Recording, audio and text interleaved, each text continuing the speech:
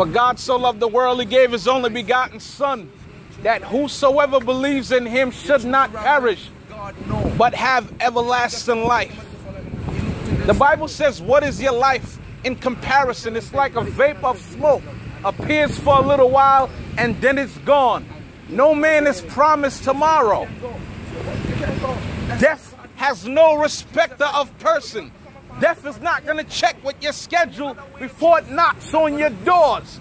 St. Thomas, people of St. Thomas, all the intelligence, all the riches can't save you. Give your life to Jesus Christ before it's too late. Now is the acceptable time. Jesus saves. The time is now. Jesus saves. Jesus saves St. Thomas.